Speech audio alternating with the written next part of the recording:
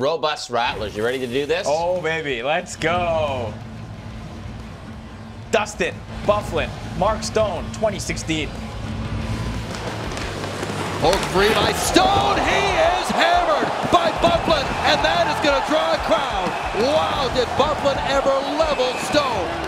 That is the devastation that Big Buff can bring. That didn't, that didn't kill you, nothing will. that was as hard as you can get hit in a hockey game. Oh my God, man. Up against Nikita Zadorov in 2019. This might be big too. That was a big shot.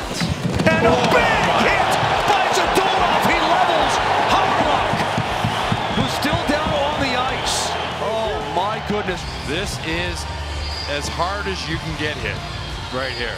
Now watch, right there, he touches it and bang. You just get rocked.